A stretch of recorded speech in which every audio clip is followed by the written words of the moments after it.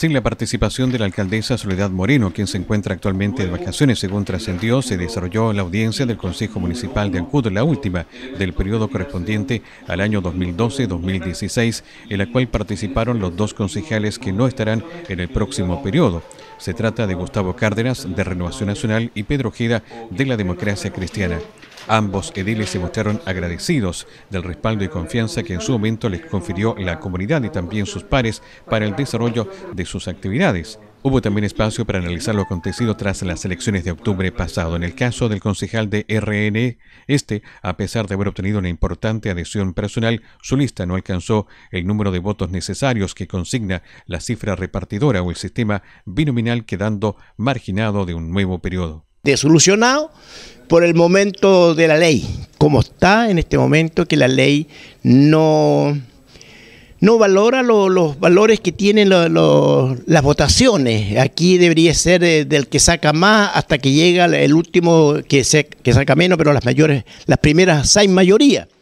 Cosa que no, no, no es así, pero no es problema de nosotros los, concejales, ni mucho menos, sino que son problemas de los parlamentarios que ellos no han legislado como deben de legislar para que esto de una vez por todas se cambie.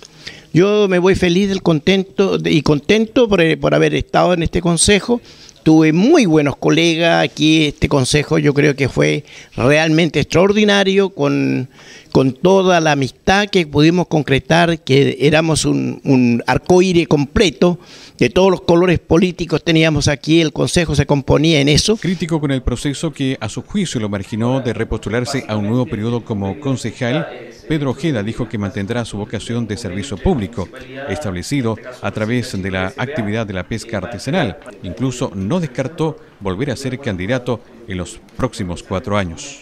Creo que vamos a seguir trabajando y, bueno, este, uno también se fija la proyección y en cuatro años más creo que deberíamos hacer una evaluación en el caso mío y poder decir estar en condiciones de volver nuevamente al Consejo Municipal aun cuando ambos concejales dejarán sus cargos oficialmente el 6 de diciembre, al ser esta la última sesión ordinaria del Consejo Municipal, también hubo elogiosos comentarios de sus pares, quienes destacaron la impronta, el trabajo y el aporte de ambos ediles. Yo dije de que inicialmente cuando nos constituimos hace cuatro años atrás, eh, con algunos colegas no, nos conocíamos, o sea, fue un proceso primero de conocernos, eh, como persona. Eh, tuvimos en los primeros tiempos algunos roces, ¿cierto? Algunas diferencias que con el transcurso del tiempo se fueron, eh, se fueron desapareciendo y finalmente terminamos, ¿cierto? en un equipo muy afiatado, con una amistad profunda cada uno de los concejales y eso yo creo que es lo que al final del día se valora y se agradece, ¿cierto? El apoyo, el, trabajo en conjunto que tuvimos con los colegas que hoy día nos dejan.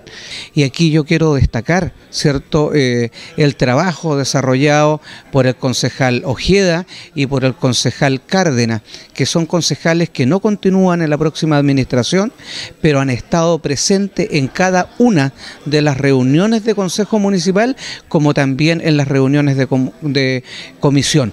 Y lo hacen participando activamente hasta hasta el último día de su mandato, que será cierto el día 6 de diciembre cuando se produce esta transmisión de mando. Así que mis felicitaciones, mi agradecimiento y mi reconocimiento eh, principalmente a ellos dos, cierto que son concejales que no van a estar dentro de la próxima eh, administración, pero sí debo decir, eh, en mi calidad de colega de ellos, que durante estos cuatro años han sido concejales que han estado permanente, ¿cierto?, en el trabajo que lleva adelante el Consejo Municipal.